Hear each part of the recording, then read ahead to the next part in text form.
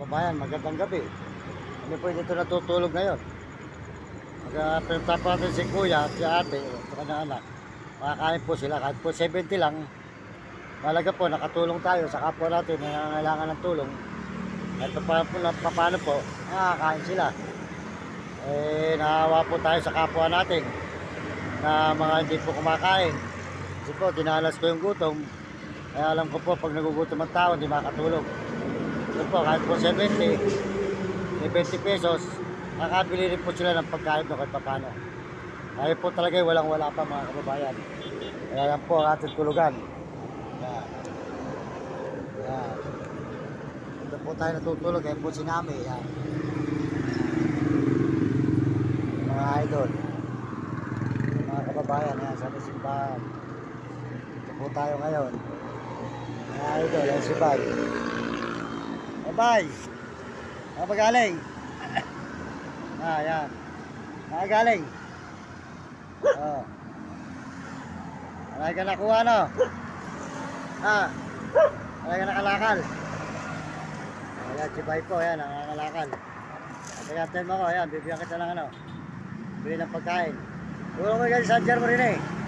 Gawin mo rito. Ito mo gawin mo. O si Bay, mga kababayan, yan. Ito po siya, yun, nangangala, nangangalakal po siya. Ito, ako na, bibigyan kita ng pamirienda. Ito po si Bay. Ito Bay. Natin po si Bay ng pamirienda mga idol. At papalo, si Bay ay makamirienda. Ito ba yan ah. Ba't kailangan kita nakita? Ha? Ako galing? Ah. Eh, bigyan po natin si Bay na ano. Oriyan na lang po ito. Binigyan natin kila Kuya 70 eh. Para si Bay po ay may pang merienda.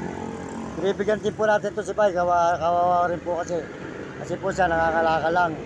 Yan po. Namumulit lang po siya ng mga kalakal. Yan. Yan nga po.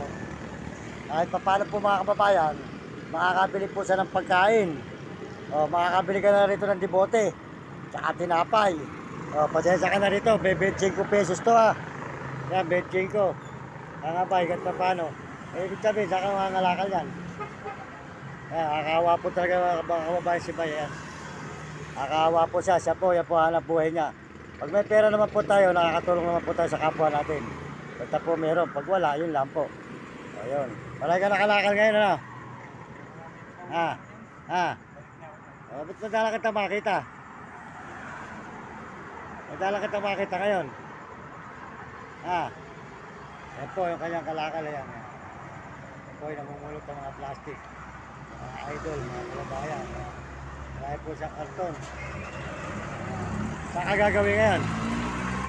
Saan ka gagawin? Oh, yun, mabibenta mo na yun. Marami ka na nakuha, ano? Ay, mga kababayan, marami po siya nakalakal. Marami po siya napulot ngayon. Nagkaka po kahit paano. Makakabili siya ng bigas sa ulam sa... Ilan ba anak mo? Lima. Ah, lima raw po anak niya mga kababayan. Yan po anak po niya, namumulot ng mga plastic, nakakalakal. Ayan, pasensya ka na dyan, ano? O, sama mo na to. O, yan, o. Bigyan na rin po natin to. Yan, bali 31. Ayan, para makabili ka ng kalating kilong bigas. Ayan. At kalating kilong bigas, makakabili na po siya ron. Eh, siya po talaga, mahirap po sila talaga. Mga kababayan. Eh. Kaya nga, huwag ka malapit na Pasko. Kaya ko eh, marami na magkakalog sa atin yan. Kaya na magbibigay ng tulong. Kaya nga eh. Tigat-tigat, hindi ka pa nakabibigyan dyan kung ikarigikot. Ah, yun. Oh. Sige, yan po si Pai, mga kababayan. Yan po ay namumulot ng plastic ngayon. Yan. Kawawa po talaga mga kababayan. Yan. Po ay nangangalakal. Sige, ikat ka na lang, ano? Ayan, ayan. Kababayan, ayan. Kawawa po talaga mga kababayan. Ayan.